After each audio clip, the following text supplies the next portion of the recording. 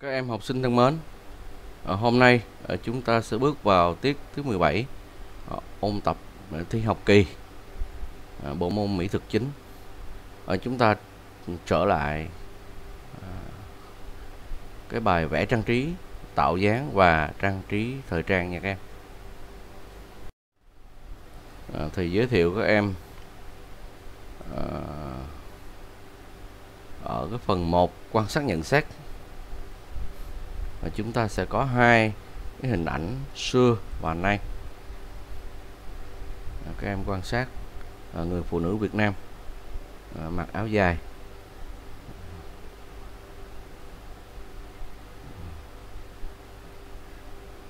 Ở thời nào thì bộ áo dài truyền thống của phụ nữ Việt Nam vẫn được tôn vinh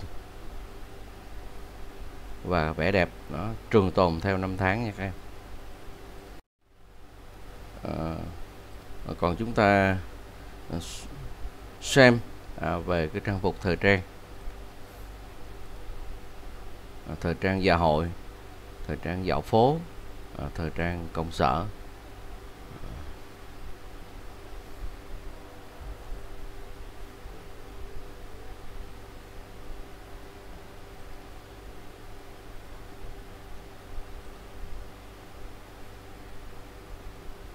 Đa dạng. Kiểu dáng.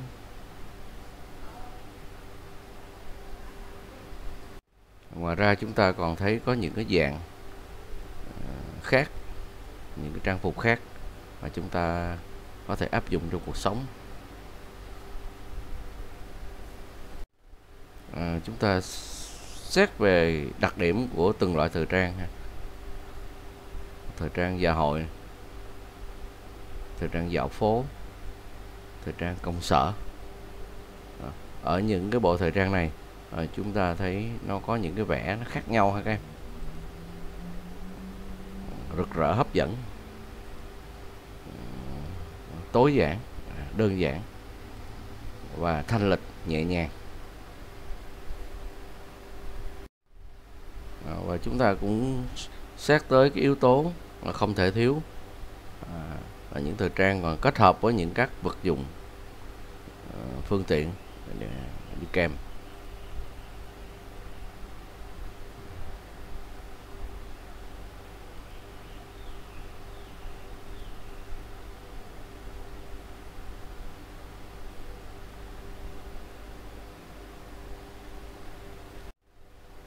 Và chúng ta thấy là ở thời trang, nó còn thể hiện ở rất nhiều à, những độ tuổi lứa tuổi. Thiếu nhi thiếu niên và trung niên.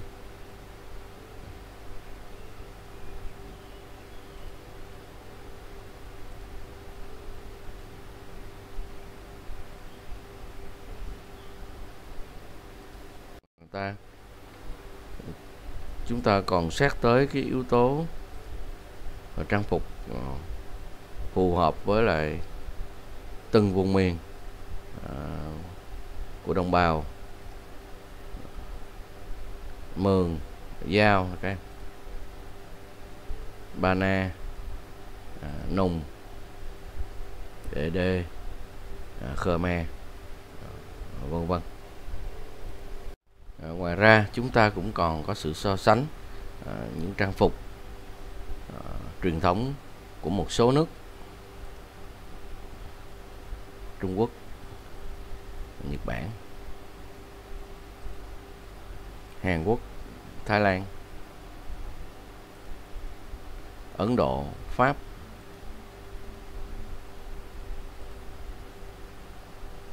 à, Việt Nam à, Malai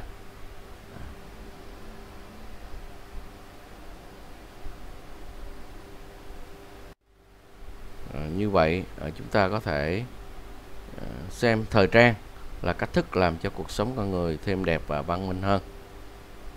Trang phục thời trang rồi gồm có thời trang công sở thời trang dạ hội thời trang dạo phố vân vân. Và để đi kèm với à, những bộ thời trang này thì chúng ta phải kể tới những cái set đồ ha. Quần áo túi sách giày dép cách trang điểm và các phương tiện ờ, vân vân. Và đặc biệt là thời trang luôn gắn liền với mọi lứa tuổi.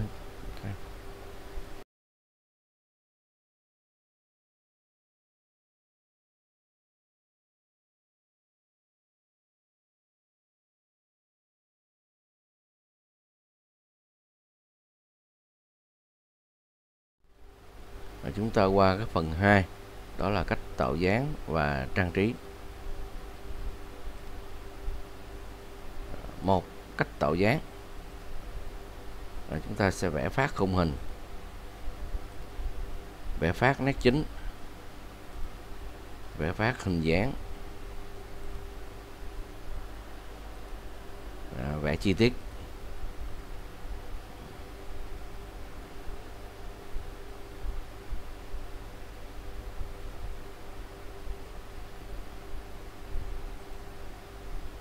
Và cách trang trí. Là chúng ta trang trí họa tiết à, trên trang phục. Trang trí à, các à, vật dụng à, kèm theo.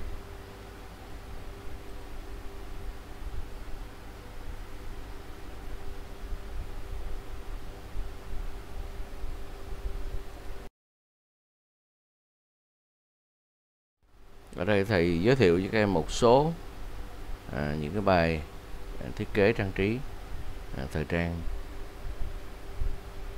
áo dài à, đầm dạ hội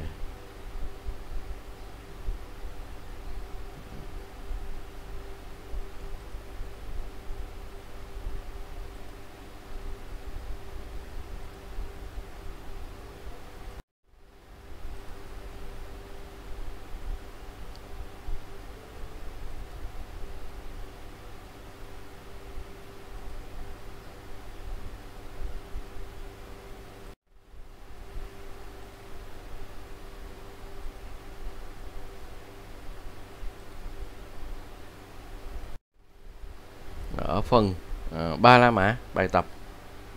Uh, các em sẽ ờ, vẽ hai dáng thời trang. Và nhớ là chúng ta sẽ tự chọn trang phục để chúng ta vẽ.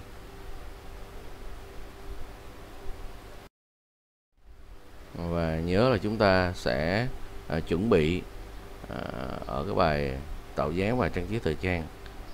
Uh, là gồm có giấy A4 uh, chì ờ, gôm, màu.